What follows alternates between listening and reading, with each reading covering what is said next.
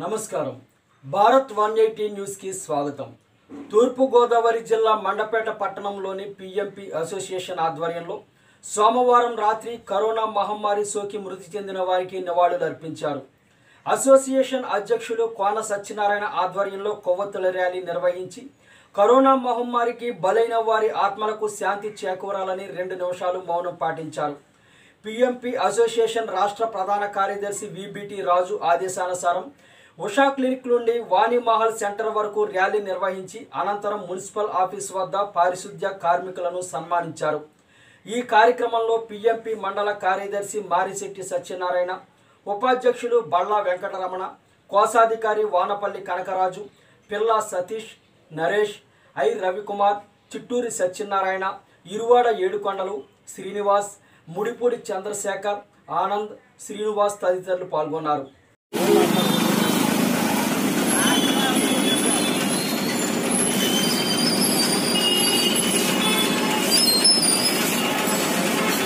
Covid వల్ల నై- మరణించిన మరణించిన వారందరికీ కోవిడ్ వల్ల మరణించిన వారికి కోవిడ్ వల్ల మరణించిన వారికి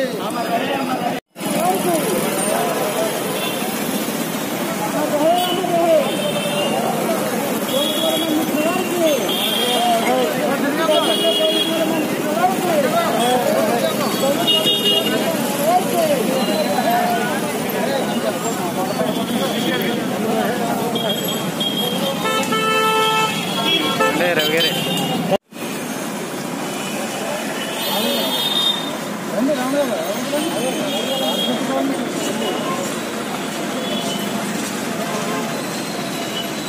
ఎక్కడున్నా నువ్వు?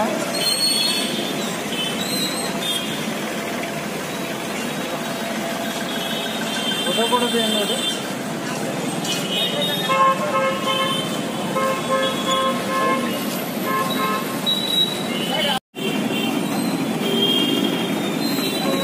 బిఎంపీ అసోసియేషన్ ఆధ్వర్యంలో రాష్ట్ర వ్యాప్తంగా ఈరోజు కోవిడ్ వైరస్ వల్ల చనిపోయిన వారందరికీ ప్రపంచవ్యాప్తంగా చనిపోయిన వారందరికీ అలాగే వృత్తి ధర్మం ప్రకారం డాక్టర్లు కానీ పారిశుద్ధ కార్మికులు పోలీసులు అలాగే చనిపోయిన వారందరికీ ఈరోజు నివాళులు అర్పిస్తున్నాం.